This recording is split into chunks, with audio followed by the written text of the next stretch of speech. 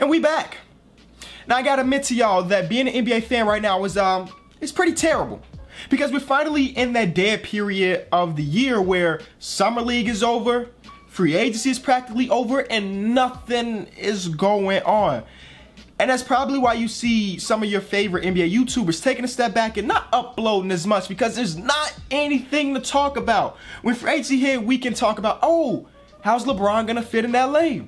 Why did Paul George resign? But all of those stories are over. And now we gotta wait. And you know how you know it's a struggle. We're waiting for the NBA preseason. I got this timer here. We are six weeks, four days, six hours, 14 minutes, and eight seconds away from the first preseason game. And that preseason game is between the Charlotte Hornets and the Boston Celtics. Realistically, if this was a regular season game, I'm probably not even watching it. But since it's gonna be the first bit of basketball we've had in like two months, I'm gonna be watching like it's the NBA Finals. And right now I'm struggling, man, because a man can only watch so many Derrick Rose highlights before he needs something new to watch. 10 points, 3 assists. And Chicago with a 26 18. Oh, oh, Rose came down bad on his left foot. See him holding onto his knee, holding onto his knee and down. So today we're taking a step back from doing something usual on this channel. We're just gonna be talking about some of my favorite stories that's going around the NBA right now. First, let's start off with some wholesome news. Let's talk about Donovan Mitchell for a second. Before Donovan Mitchell decided definitely to declare for the draft, he said he spent a lot of time trying to figure out if he should go back to college. Think about that. Donovan Mitchell could have went back to college, but instead he declared for the draft, and now he's one of the best young up-and-coming players in the league. Now, we're not talking about him on the court right now. Let's talk about what he's been doing off the court. Now, NBA players are notorious for being kind of generous and charitable and everything, but Donovan Mitchell has been helping fans left and right around Utah. First, it started about a week ago. He was in the Apple store. He heard somebody that couldn't really afford to get their phone fixed, and Donovan Mitchell's like, I got you, brother. And he paid for it. But that's not it. Just a few days ago, there's a young fan that saw him at Cheesecake Factory. She walked up, asked for his autograph. But not only did Donovan Mitchell give an autograph, he went to his car, got a pair of shoes, and signed those for her. She's also battling cancer, so I hope this helps her throughout her journey and everything. But let's talk about Cheesecake Factory. A few years ago, NBA players were given a survey about their favorite restaurants in each NBA city, and Cheesecake Factory came out on top like 90% of the time. So, if you really want to meet an NBA player, go to a city and eat at Cheesecake Factory. If you do not believe me, it happened to me.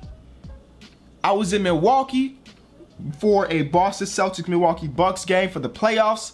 Just went to Cheesecake Factory to have dinner with my girlfriend, and guess who walked through the door? Thon Maker and Malcolm Brogdon. What? This is just great team defense, and then one on one. When I get beat, I'm not giving up.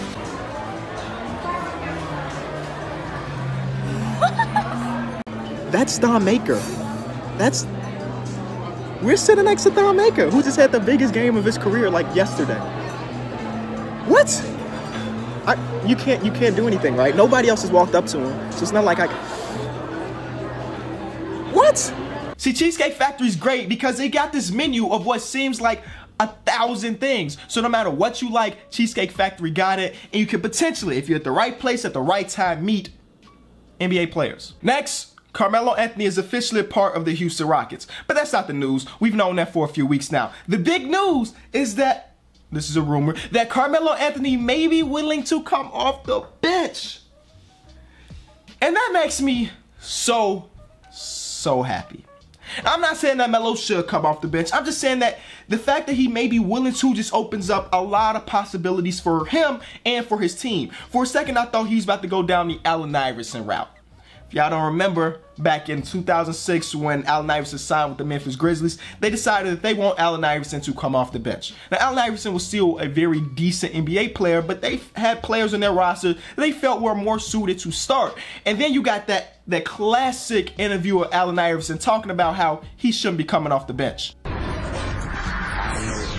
Any franchise players that come off the um, bench. I don't know any Olympian that come off the bench. I don't know any All-Star come off the bench. I don't know any former MVP that come off the bench. And that's kind of where it seemed like Melo was about to go. If you think about last year, they're like, AP, they think I should come off the bench. Just that whole thing, I just felt that he was gonna let his ego get the best of him. But it seems like, if the rumors are true, he'd be willing to come off the bench. And I just think that is so great because we need somebody in that Western Conference to really compete with the with the juggernaut that is up there. So shout out to Melo. I hope this all works out. I'm still a little skeptical about him signing to that team or if they're gonna change their offense to implement Melo. I don't know, but I'm excited to watch them play. We just got like six weeks left until we finally can. Next, we got rookie Michael Porter Jr. in the news because things are looking good for him. So he went through a second back procedure in July and he was interviewed the other day about it and he said, I finally feel like good.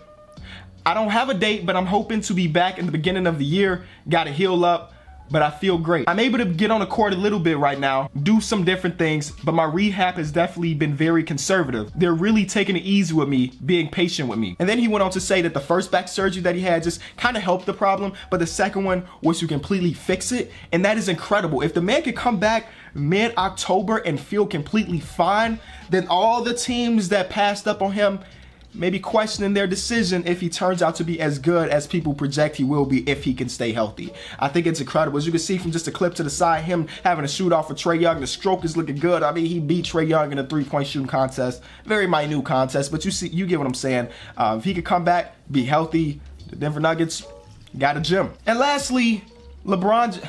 And lastly, the Lakers plan on playing LeBron James just 33.5 minutes per game. And I say just because if you take a look at LeBron's workload throughout his entire career, he has always averaged over 35 minutes per game.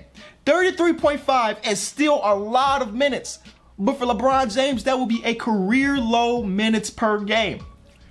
Something tells me that LeBron won't accept this. LeBron has always been a huge workhorse and he pay he pays so much money in the offseason and he works so hard in the offseason for him to be ready for the 82 game grind plus the playoffs because you know LeBron always plays about 100 games a season. He always pays and works so hard in the offseason to keep his body ready. Some tells me even at the age of 34 that LeBron's to be like, "Nah, I still want my 35 minutes a game." And before we wrap up the video, I'm gonna go ahead and fulfill the most requested thing on my channel, and that's for me to give an upgraded version of my sneaker collection. At the background of all my videos, y'all may have noticed, just, you know, that some of my favorite sneakers I've owned, just part of my collection, but my favorite part. And um, I get asked often to show us what you buy when you buy it. But the thing is, over the past couple months, I really haven't been buying sneakers because I've been saving up for a car, a new car. I got that new car, so we back on the sneaker collection grind, by the way. So the first thing that we picked picked up since buying a new car. The Royal Ones, baby. The Royal Ones. If y'all don't know, the Ones are my favorite shoe of all time, you know? So getting the Royal ones was just a huge accomplishment for me. I still want the banned ones, but I ain't got, you know, y'all look up how much that costs. I'm not dropping that on a pair of shoes.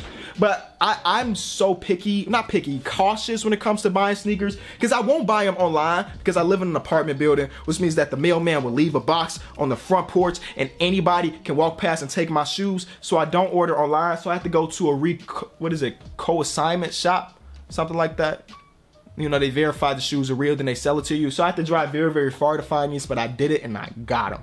And secondly, I got my first ever pair of LeBrons, ever. I'm not a big LeBron shoe guy, but I saw these on a sneaker app and I really liked them. I would never wear these with a pair, like, you know, with a normal outfit. These are hooping shoes, which means that Kenny is going to get it back in the gym because I'm kind of embarrassed, y'all. You know, I live on the second floor of my apartment. I was bringing up groceries the other day, and I was tired walking up those stairs. At 21 years old, I should not be tired walking up some stairs. So Kenny got to get back in the gym. And of course, getting back in the gym means playing some basketball. You know, the cardio running up and down, up and down the court. So I will eventually get back in the gym. As you can see, I haven't even put these on yet. I don't even know if they fit me, but I'm really excited to wear these at the gym. So let me know if you want to see me play against like my through the wire buddies, you know.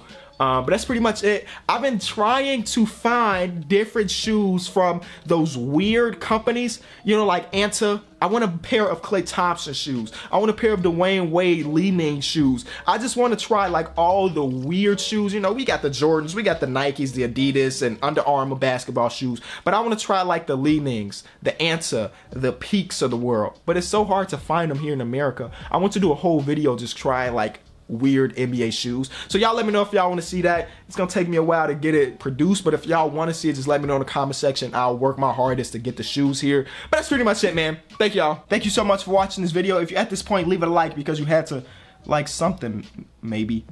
Yesterday we dropped the newest episode of my podcast through the wire. Um, if you have not listened to it, I recommend it. We had a huge debate about two players one a bona fide superstar and one an up and coming player. Who would you rather have?